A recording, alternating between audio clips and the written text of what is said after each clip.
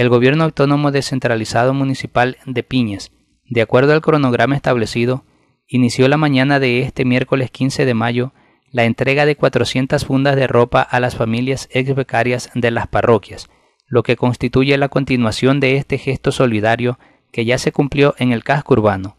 Las fundas de ropa incluyen zapatos, camisetas, medias, suéteres y otros artículos nuevos y de buena calidad.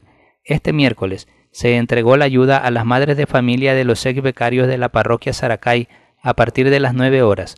En la tarde de este mismo día, desde las 16 horas, se hizo cosa igual en Moromoro.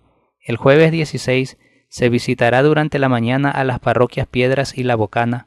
El viernes estarán en Capiro y San Roque y finalmente el martes 21 se entregarán en los sitios Guerras, Tinajas y Cascarillal. La entrega de las fundas de ropas a los seis becarios se cumple en coordinación con el Patronato de Amparo Social, presidido por la señora Rosita Espinosa de Cueva y las Reinas de Piñas. Como queda dicho, el jueves anterior se realizó el mismo gesto a todas las madres de los ex becarios del casco urbano en el salón de la ciudad.